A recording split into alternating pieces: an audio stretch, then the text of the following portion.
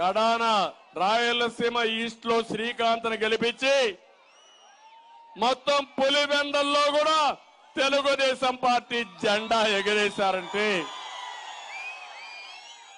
అది తిరుగుబాటు. ఈరోజు నేను మిమ్మల్ని అందరినీ చూస్తున్నా. నా జీవితం సార్థకమైంది ఈరోజు. నాకైతే ఇప్పటికి కూడా నమ్మలేకపోతున్నా ఇది కళా నిజమా అని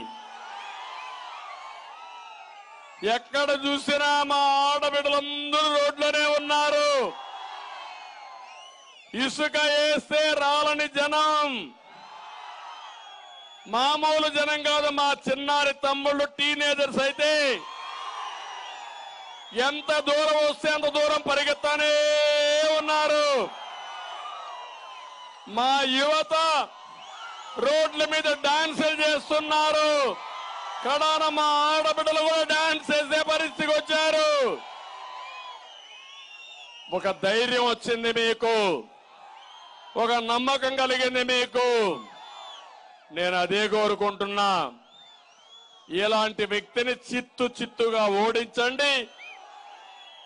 మీరు ఎందుకు బాగుపడరో నేను చూస్తా. నేనేదో మాటలు చెప్పడం లేదు. ఇరవై సంవత్సరాలకు ముందు నేను చేసిన పనులు ఈరోజు తెలుగు జాతి ప్రపంచమంతా వెళ్ళడం కానీ హైదరాబాద్ అభివృద్ధి కావడం కానీ జరిగాయి. ఈ రోజు నేను చేసే పని ప్రతి సంవత్సరం ప్రతి కుటుంబానికి తెలియజేస్తా. నా వల్ల మీకేం లాభం వచ్చిందో చెప్పే బాధ్యత నాదని మిమ్మల్ని విజ్ఞప్తి చేస్తున్నా. జగన్మో సైకో ముఖ్యమంత్రి వచ్చిన తర్వాత బాధుడే బాధుడు ఏమమ్మా నిత్యావసర వస్తువులు ధరలు పెరిగాయా? వంట చేసే పరిస్థితిలో ఉన్నారా మీరు? వంట గ్యాస్ పెరిగిందా లేదా? ఐదు వందల యాభై నుంచి ఎంత ఇప్పుడు? పన్నెండు వందలు అవునా కాదా? నేను ఆ రోజు వంట గ్యాస్ ఇచ్చాను తల్లి మీ అందరికి దీపం కింద. మా తల్లి వంట చేస్తా ఉంటే చిన్నప్పుడు నేను చూసేవాడిని. కళ్ళల్లో నీళ్ళు వచ్చేటివి. ఆ వంటగది నుంచి బయట వస్తే ఆ పొగంతా పోయి.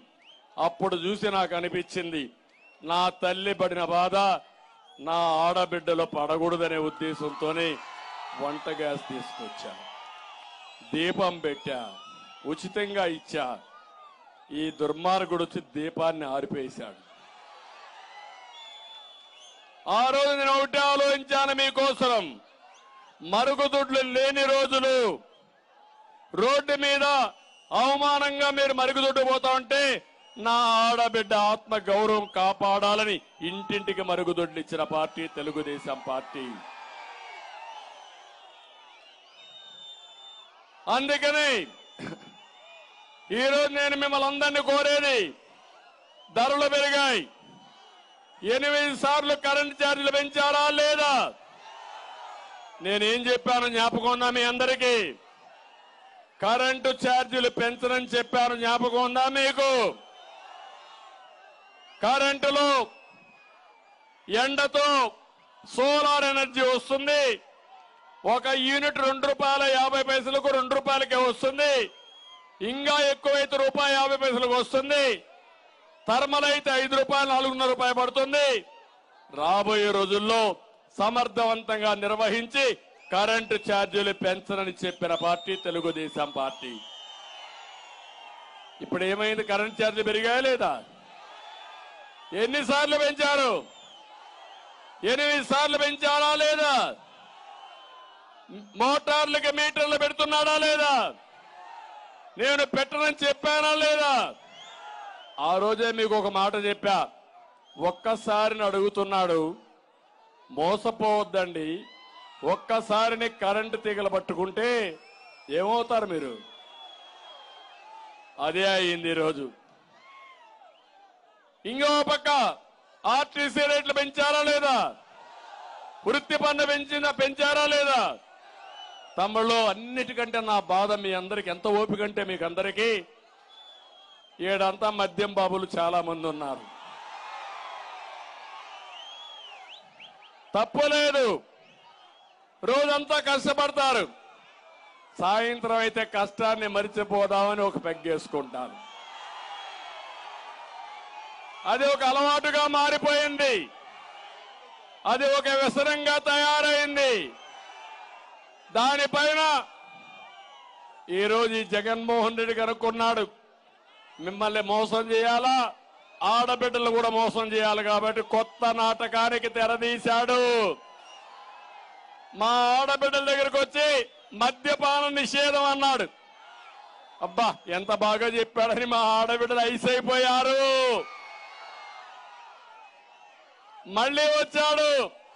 నేను మద్యపాన నిషేధం పెడతాను కానీ ప్రస్తుతానికి మాత్రం రేట్లు పెంచుకుంటా పోతాను. తాగేవాళ్ళు తగ్గతా వస్తారు అని చెప్పి ఏం పెట్టారు తల్లి? అన్ని సొంత బ్రాండ్లు పెట్టాడు. అది తాగితే మీ మంగళ సూత్రాలు గోవిందా గోవిందా. ఆరోగ్యం పోతా ఉంది. అవయాలు అవయాలన్నీ పోతున్నాయి.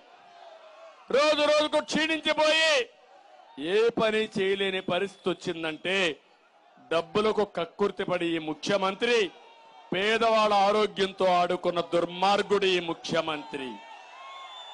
నేను అడుగుతున్నా మిమ్మల్ని అందరినీ ఒక మాట. ఏం తమ్ముళ్ళు మీరెక్కడన్నా తోపుడు బండి దగ్గరికి పోయి అక్కడేమన్నా బజ్జీ తిని డబ్బులు పే చేయాలంటే గూగుల్ పే పే చేయించినవునా కాదా? పే చేయించినవునా కాదా? గూగుల్ పే కానీ పేటిఎం కానీ ఇంకో పక్కన మీ ఫోన్ పే కానీ ఏదో ఒకటి పే చేయొచ్చు. ఏం తమ్ముళ్ళు ఇక్కడ బ్రాందీ షాపులో? బ్రాందీ షాపులో బిల్లు వస్తా ఉందా మీకు? ఆన్లైన్ పేమెంట్ తీసుకున్నారా మీ దగ్గర నుంచి? మీకు కోపం లేదు. అది కూడా నేనే పోరాడాలా? ఇప్పుడేమన్నాడు? మీరు తాగతానే ఉండాలంట. ఇరవై ఐదేళ్ళు తాకట్టు పెట్టి మీరు తాగడాన్ని యాభై వేల కోట్ల రూపాయలు అప్పు తీసుకొచ్చాడమ్మా మీ మీద. మీ భర్తలు మాత్రం తాగుతానే ఉండాలా? తాకపోతే బలవంతంగా తాగించి ఆ డబ్బులు వసూలు చేసి ఈ బ్యాండీ షాపులకు తెచ్చిన అప్పులు కడతాడంట ఈ పెద్ద మనిషి ముఖ్యమంత్రి జగన్మోహన్ రెడ్డి. ఇది మోసవునా కాదా? మోసవునా కాదా? అంటే అతనికి ఒక నమ్మకం ఉంది. చెప్పిన తప్పునే చెప్పకుండా వంద సార్లు వెయ్యి సార్లు చెప్తే మీరందరూ నమ్మేస్తారని. ఒకప్పుడు నమ్మారు. అందుకే ఇప్పుడు కూడా వే చెప్తున్నాడు. అందుకే వివేకానంద రెడ్డి మడ్రెట్ ఆడాడు. కోడికత్తి డ్రామా ఎట్టాడాడు మద్యపాన నిషేధం కూడా అదే ఆడాడు. అందుకే ఒకే ఒక విషయం చెప్తున్నా. మీ అందరూ గుర్తుపెట్టుకోవాలి. ఈరోజు ధరలన్నీ పెరిగిపోయి పది రూపాయలు మీకు ఇస్తున్నాడు. వంద రూపాయలు దోచేస్తున్నాడు దుర్మార్గుడు ఈ ముఖ్యమంత్రి. మాట్లాడితే రెండు లక్షల రూపాయలు. రెండు లక్షల కోట్ల రూపాయలు బటన్ నొక్కానన్నాడు. నేను అడుగుతున్నా నీ బట్టను బొక్కుడు. రెండు లక్షల కోట్లు. ఐదు లక్షల మందికి నువ్వు ఇచ్చిన డబ్బులు నాలుగు సంవత్సరాలు రెండు లక్షలు అయితే నువ్వు సొంతంగా దోచుకున్న డబ్బులు రెండు లక్షల కోట్లుంది. ఎవడబ్బ సొమ్ము ఈ డబ్బులను అడుగుతున్నా? దేనికైనా ఆశకు కూడా మితం ఉంటుంది. ఒక పక్క ఆశ అనేది ఒక చాలా ప్రమాదకరమైంది. ఈ ముఖ్యమంత్రికి దురాశ. ఆ దురాశే దుఃఖానికి చేటు. అదే జరుగుతుంది రేపని మీ అందరికి తెలియజేస్తున్నా. ఇసుక ఏం తమ్ముళ్ళు ఇసుక దొరుకుతా ఉందా? మీ ఊర్లో ఇసుక మీకు దొరుకుతా ఉందా? బంగారు కంటే ప్రియమైపోయింది ఏం మాట్లాడా రోజు? ఇసుక ఫ్రీగా ఇస్తానాడా లేదా? ఎక్కడికి పోతా ఉందా డబ్బులు? ఎక్కడికి పోతా ఉందా దోపిడీ? జగన్మోహన్ రెడ్డి తాడేపల్లి ప్యాలెస్ కవునా కాదా? తమ్ముళ్ళు మీరంతా కూడా భస్మాసురుడికి ఒక వరం ఇచ్చారు. ఎట్లయితే శివుడు భస్మాసుడికి ఇచ్చారో మీరు ఇక్కడ సైకోకు ఒక వరం ఇచ్చారు ఓట్లేసి అధికారం ఇచ్చేశారు మీరందరూ కలిసి. ఆ అధికారంతో మనందరి మీద పడ్డాడు. మా పోలీసులు అయితే మంచోళ్ళు. ఆ సైకో చేతిలో మా పోలీసులు బలైపోతున్నారు ఎక్కడికక్కడ. పోలీసులకి ఎట్లా బెదిరిస్తున్నా అంటే నువ్వు నేను చెప్పిన పని చేయకపోతే నిన్ను రిజర్వ్లో పెడతా. రిజర్వ్లో పెడితే నీకు జీతం కూడా రాదు. అందుకని పోలీసులు భయపడిపోయి మన మీద కేసులు పెడుతున్నారు. నేను పోలీసులకు చెప్తున్నా తమ్ముళ్ళు మీ సమస్యల పైన కూడా నేనే పోరాడాలి. మీకు డిఏ రావాలన్నా నేనే. మీ పిల్లలకు ఉద్యోగాలు రావాలన్నా తెలుగుదేశం పార్టీనే.